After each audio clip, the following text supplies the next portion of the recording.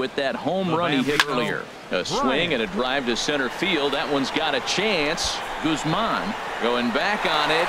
Just missed a home run to the deepest part of the yard. It's off the wall. Bryant takes the turn at third. He wants it all. And he will score on the inside the park home run. And that was a gift.